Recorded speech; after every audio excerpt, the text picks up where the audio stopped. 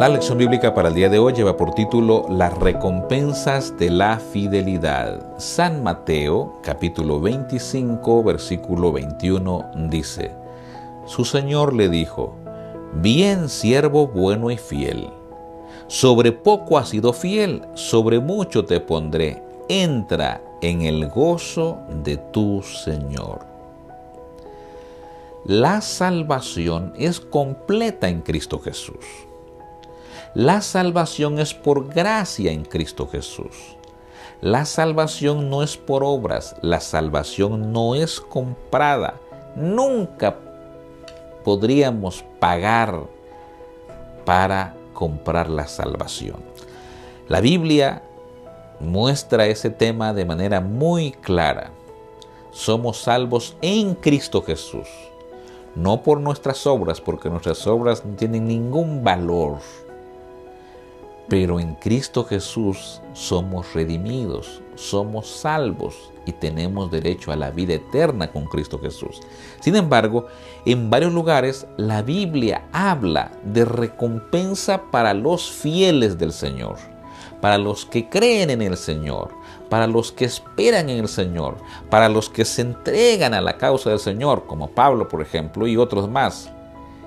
Para ellos, por supuesto que el Señor tiene grandes recompensas. Y es más, no todas las recompensas están descritas de manera detallada en la palabra del Señor. Porque el Señor quiere sorprendernos con algo que ojo no ha visto ni mente ha imaginado. El Señor es Señor, Él es Dios Todopoderoso. Si aquí podemos admirar algunas bellezas, llámese naturales, artificiales, comodidades y tener y hacer muchas cosas que de verdad nos dejan sorprendidos, cuánto más el Señor estará preparando para nosotros grandes recompensas. ¿Qué promete el Señor darnos por lo menos lo que sabemos en la Biblia? Mencionemos algunas recompensas rápidamente.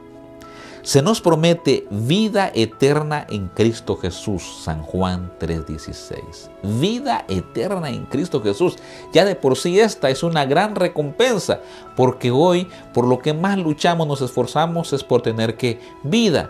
Y al fin y al cabo sabemos que después de 90, 100 o 110 años vamos a morir. Pero en Cristo Jesús se nos da vida eterna. Qué gran recompensa. ¿Qué más? Se nos promete también la nueva Jerusalén. Si hoy admiramos ciudades extraordinarias, algunas a lo mejor las hemos visitado, otras veces con la tecnología que hay ahora las hemos visto nada más por YouTube o por alguna película y vemos ciudades extraordinarias, ciudades que fueron construidas incluso en un desierto donde solo lo que había era arena pero ahí se ha construido a tal punto que se puede hasta climatizar un ambiente para vivir allí. ¿Se imaginan cómo será la nueva Jerusalén? También se nos promete la corona de vida eterna.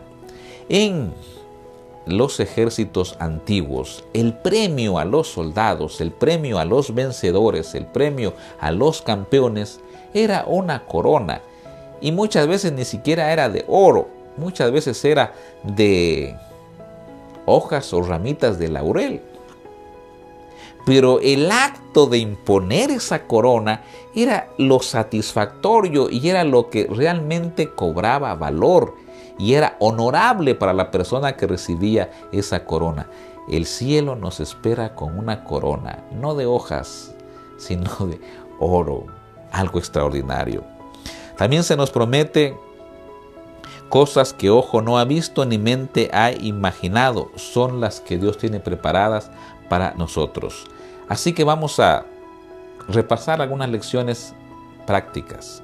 La primera, la pregunta que tenemos ante nosotros es, ¿qué nos está llamando Dios a hacer con los recursos que nos ha confiado? La segunda, la pregunta que tenemos ante nosotros es, ¿qué recompensas estamos esperando? ¿Terrenales o celestiales. Y tres, es hora de amar a Dios, administrar correctamente lo que nos ha dado, a veces sufrir por la fe y en medio de todo esto, no perder de vista la vida eterna y todas sus recompensas que Dios nos dará. Que Dios te bendiga. Soy Ever Recuerda, hoy es el día de tu salvación.